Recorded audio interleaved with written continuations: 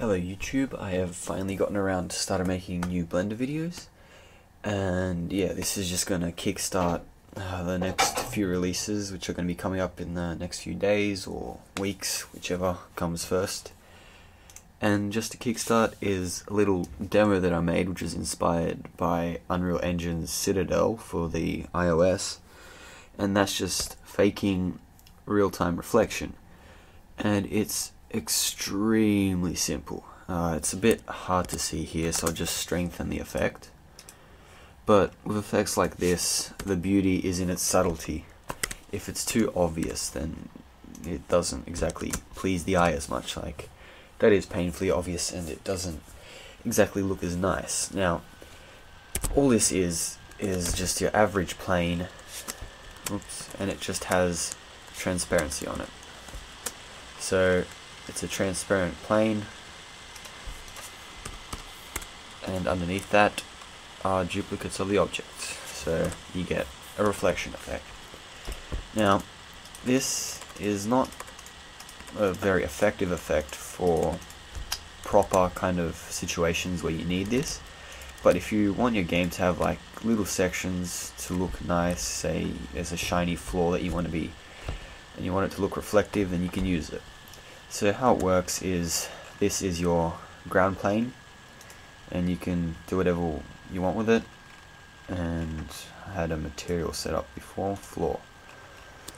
Oops. There we go that's my material.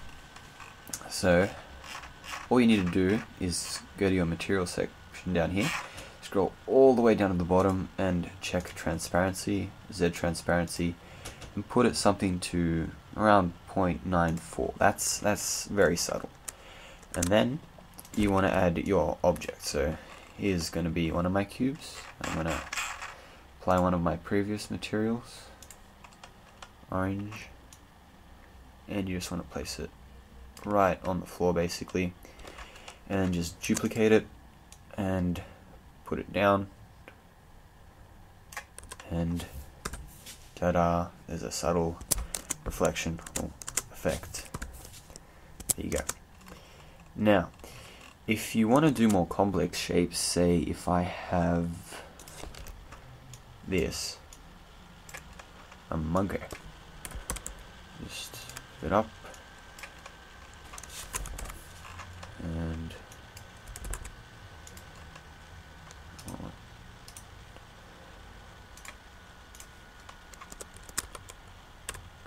shade smooth. Subdivision trash no.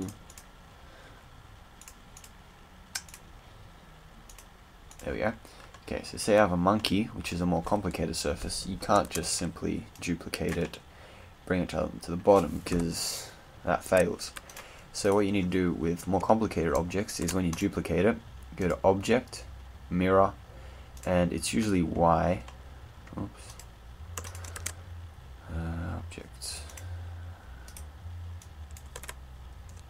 Shift D for duplicate, object, mirror, Z global, and just click.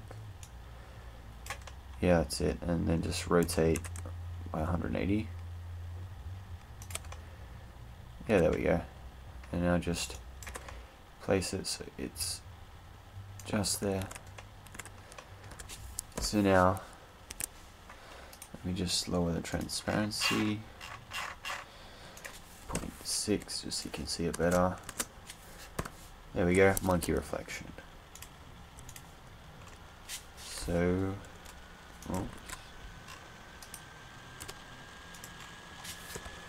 there you have it. Faked real-time reflections in the game engine. Hope you like this video. Um, if you have any questions, just post a comment below and please subscribe and like. Alright. Thanks, guys.